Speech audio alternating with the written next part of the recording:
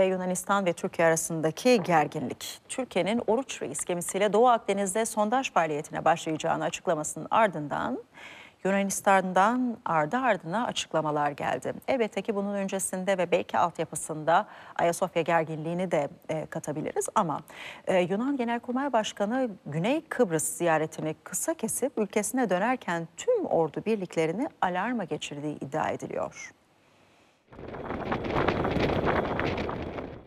Türkiye, Doğu Akdeniz'de yeni bir sondaj faaliyeti için harekete geçti. Oruç Reis gemisinin Kıbrıs'ta Girit Adası arasındaki bölgede yürüteceği faaliyet için bir de Navtex yayınladı. Yani denizcileri o bölgede faaliyette bulunduğuna dair bilgilendirdi.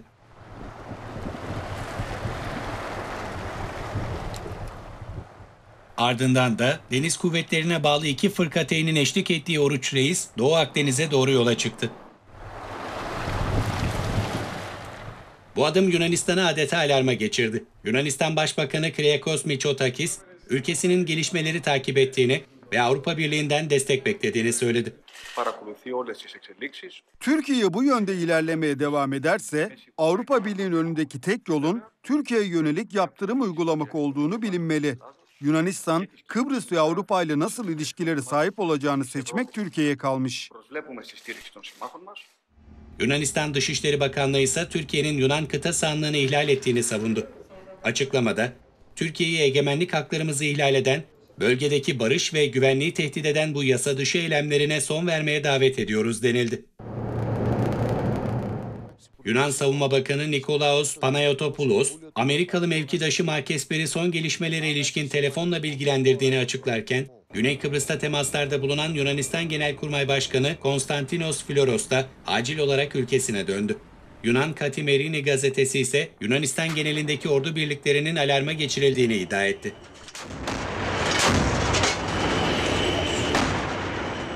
Amerikan Dışişlerinden de konuya ilişkin bir açıklama geldi. Açıklamada Türkiye'ye duyurulan planları askıya alması çağrısı yapıldı. Bölgede tansiyonu artıracak adımlardan kaçınılması gerektiği kaydedildi. Almanya'da yayın yapan Bild gazetesine göre iki ülke arasındaki tansiyonu düşüren Almanya Başbakanı oldu. Gazete, Cumhurbaşkanı Erdoğan ve Yunan Başbakanı Mitsotakis'le görüşen Merkel'in iki ülkenin çatışmasını engellediğini iddia etti. Evet Yunanistan'la ciddi bir gerginlik var.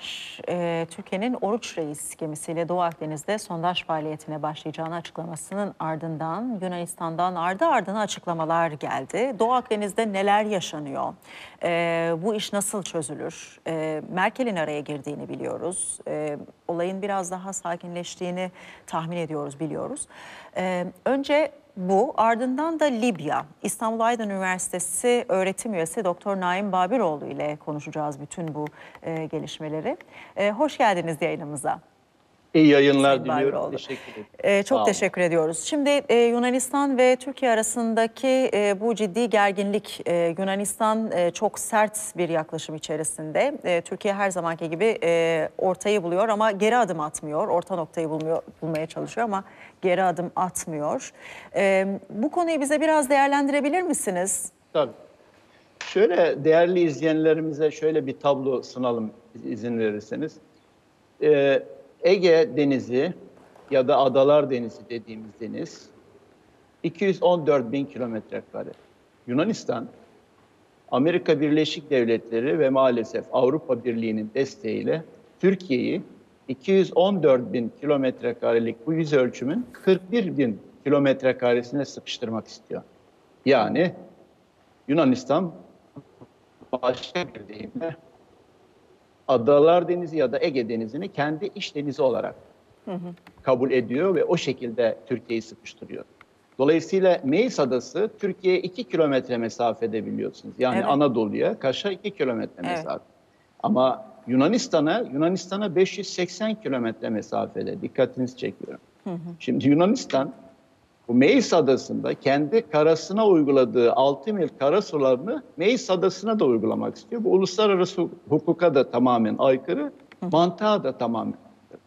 Dolayısıyla Türkiye'yi böyle bir sıkıştırma politikası içinde olan Yunanistan'ın e, elbette bu politikalarına e, evet e, denecek herhangi bir uluslararası hukuk gerekçesi de yok. Türkiye'nin de buna tahammülü de yok. Biliyorsunuz son zamanlarda daha geçtiğimiz günlerde bir adayı, Aydın ilimize bağlı bir adayı önce Yunanistan Cumhurbaşkanı ardından da Yunanistan Kara Kuvvetleri Komutanı ziyaret etti. Halbuki bu ada Anadolu sınırları içerisinde, Aydın sınırları içinde ve orada askeri tesisler inşa etmiş. E bu tabii kabul edilemez.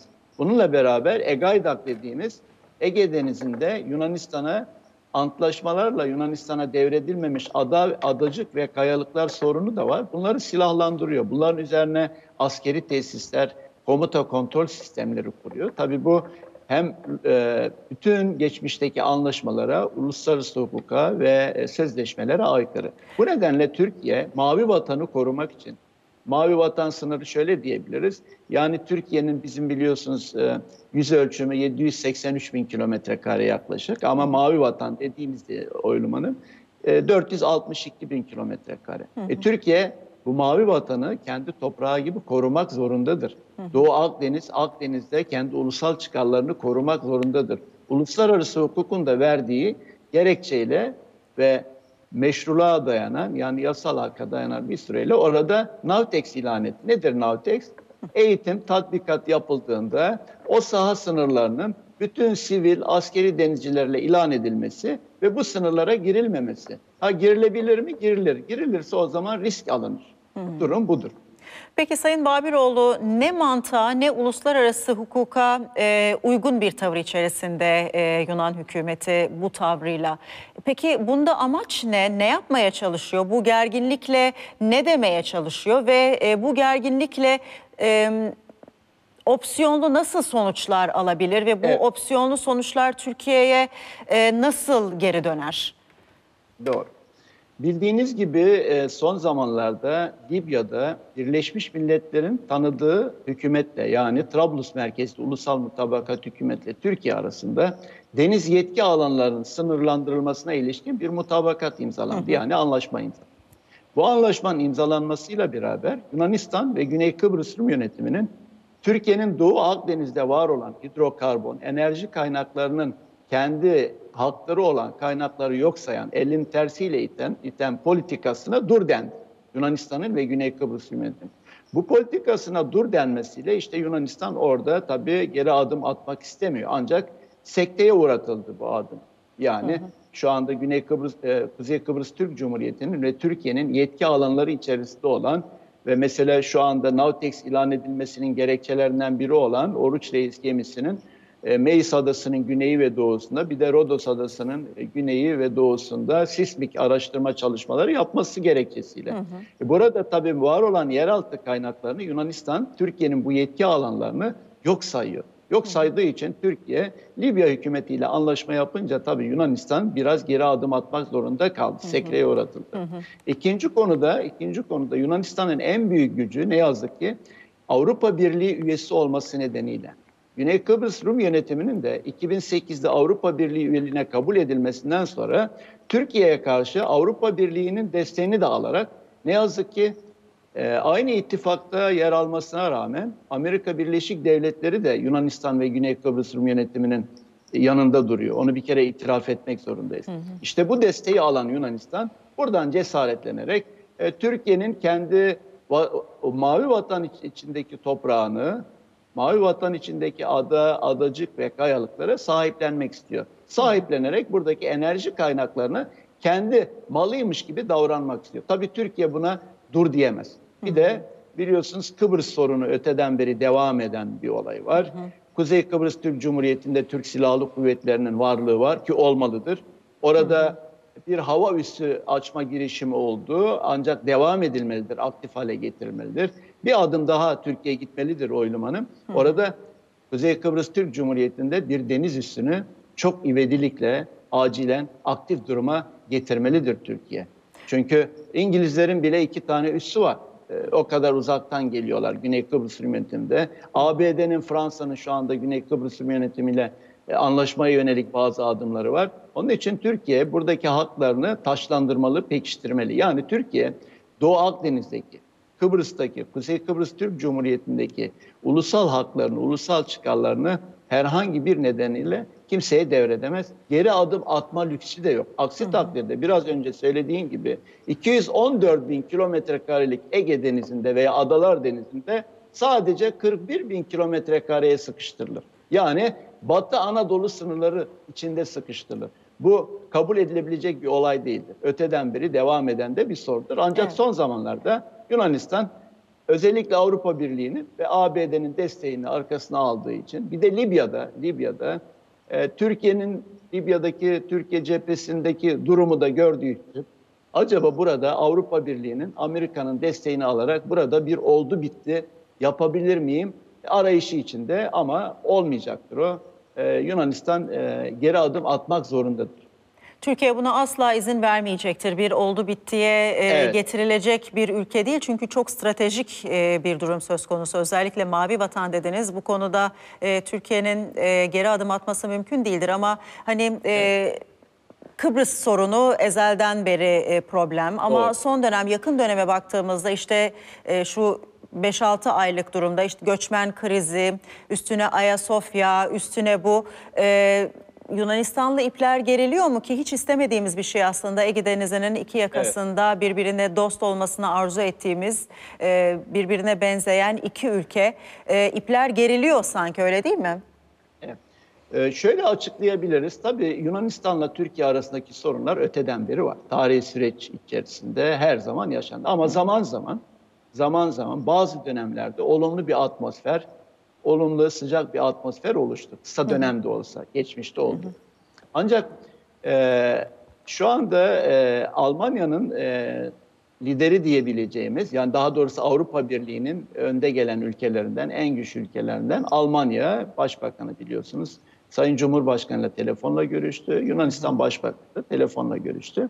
Ardından o gerginliğe doğru tırmanan atmosfer biraz yumuşadı. Şimdi öyle Evet. diyebiliriz. Dolayısıyla ee, Avrupa Birliği'nin şu anda lider konumundaki Almanya ve Amerika Birleşik Devletleri de aynı ittifakta yani NATO ittifakında yer alan e, Türkiye ve Yunanistan'ın herhangi bir çatışmaya girmesini, herhangi bir çatışma içinde olmasını elbette arzu etmiyorlar. Tabii. Bu nedenle bu nedenle hem ABD'den e, hem de e, Almanya'dan gelen bu Navtex ile ilgili e, atmosferin yumuşamasına yönelik mesajlardan sonra ben e, gerginliğin e, azalacağını değerlendiriyorum. Birkaç gün sonra biz bu gerginliği konuşmuyor olacağız. Ancak şu demek değil. E, Yunanistan bu özellikle e, Egaidak dediğimiz Ege'de Yunanistan'a antlaşmalarla devredilmemiş ada ada adacık ve kayalıklar yani geçmişte biliyorsunuz bir kriz yaşandı. Kardak kayalığı gibi. Buna benzer ada adacık ve kayalıklarda e, bir askeri tesis buna benzer e, tesisler yapmasını bırakmalı. Burayı işgal etmeyi tamamen bırakmalı, terk etmeli. Türkiye'yi, Türkiye'yi Adalar Denizi ya da Ege Denizi'nde sıkıştırma politikasından da vazgeçmeli. Tabii Yunanistan vazgeçecek mi derseniz Doyluman'a hayır vazgeçmeyecek. Onun onun en büyük hedefi, onun en büyük hedefi Türkiye'nin özellikle Doğu Akdeniz'de, Libya'da ve Kıbrıs'ta e, zayıf, güçsüz bir ülke konumuna sokmak Türkiye'yi. Bu desteği nereden alıyor derseniz elbette Yunanistan kendi kendine e, bu cesareti bulamaz. Ama tekrar söylüyorum altını çizerek söylemek zorundayım. Maalesef e, müttefik dediğimiz tırnak içinde müttefik dediğimiz e, aynı ittifakta yer alan ABD'nin özellikle Doğu Akdeniz'de ve Kıbrıs'ta enerji açısından e, e, tam desteğini almış durumda. Onu bir kere itiraf etmek zorundayız. Sayın e, Babiroğlu şimdi e, az önce dediniz ki iki gün sonra muhtemelen zaten bu konuyu konuşmuyor olacağız. Oruç Reis'in faaliyetleriyle e, başlayan bu gerginlik belki bitecek ama bugüne kadar Ege Denizi'nde defalarca e, böyle problemlerle yüzleştik. E, Kardak krizi, e, işte bir başkası, e, birbirini taciz eden e, gemiler, onlar bunlar o kadar çok e, böyle konularla yüzleştik ki e, bunun e, net bir çözümü yok mudur?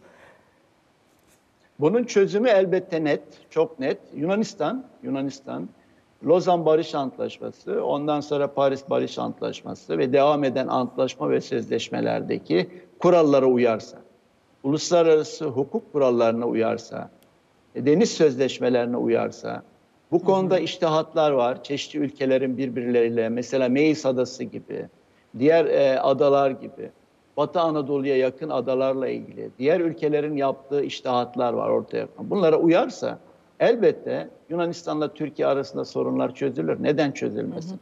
Kıbrıs'a geliyoruz. Kıbrıs'a geldiğimizde e, Yunanistan Kıbrıs'ta sadece Güney Kıbrıs Rum yönetiminin liderliğinde bir Kıbrıs arzuluyor. Yani Türkleri yok sayan bir Kıbrıs. E şimdi bunu elbette Türkiye kabul edemez. Geçmişte biliyorsunuz 1963 olayları var, 1964 olayları var, 1974 Kıbrıs Barış Harekatı var. Orada soydaşlarımız var. E Türkiye elbette oradaki soydaşlarımızın herhangi bir katliama, şiddet eylemlerine maruz kalmasını elbette tahammül edemez. Bunun ötesinde, bunun ötesinde Kıbrıs Adası, Kıbrıs Adası stratejik olarak coğrafi konum itibariyle e, batmayan bir uçak gemisi Türkiye için. Tekrar söylüyorum. Türkiye için batmayan bir uçak gemisi. Şimdi batmayan bir uçak gemisini Türkiye vazgeçemez. İngiltere'nin orada iki tane üssü var. İngiltere vazgeçsin. Fransa ve Amerika Birleşik Devletleri oradan e, attıkları adımlardan vazgeçsinler. Bunun ötesinde e, çok yakın mesafede Kıbrıs, Kuzey Kıbrıs Türk Cumhuriyeti'nin Türkiye ile mesela bundan vazgeçmesi mümkün değil. Bir lojistik üssü. Dolayısıyla Yunanistan'ın izlediği politika acaba Türkiye Suriye'de, Libya'da, Doğu Akdeniz'de ve Orta Doğu'daki bu istikrarsız ortamda PKK, PYD bölücü terör örgütüyle mücadele ederken yani 3 üç, buçuk cephede mücadele etmek zorunda kalan bir Türkiye. Böyle bir ortamda acaba Yunanistan olarak bir hamle atarak Avrupa Birliği'ni ve ABD'yi de arkama alarak herhangi bir üstünlük sağlayabilir miyim arayışı içinde Yunanistan. E, Yunanistan bu arayıştan vazgeçmek zorunda. Şunu unutmayalım Oylum Hanım. Türkiye Cumhuriyeti Devleti 1974 yılında Amerika Birleşik Devletleri'ne, Avrupa ülkelerine ambargoya rağmen ve ve altını çizerek söylüyorum.